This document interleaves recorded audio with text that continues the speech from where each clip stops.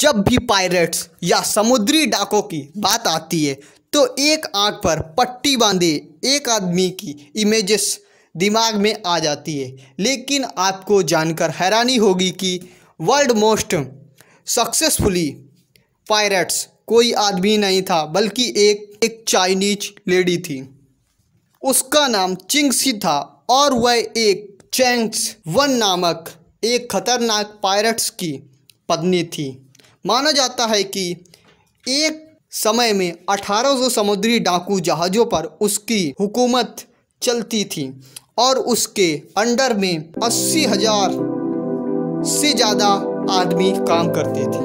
Video पसंद आया तो लाइक कमेंट करना ना भूलें। लेटेस्ट वीडियो के लिए सब्सक्राइब करें। The hello student